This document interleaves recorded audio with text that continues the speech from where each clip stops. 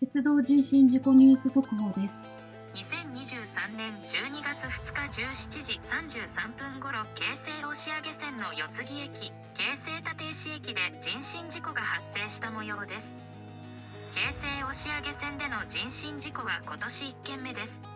現在被害者の状況などは分かっていません。なお、現在運転を見合わせており、振り替え輸送を行っています。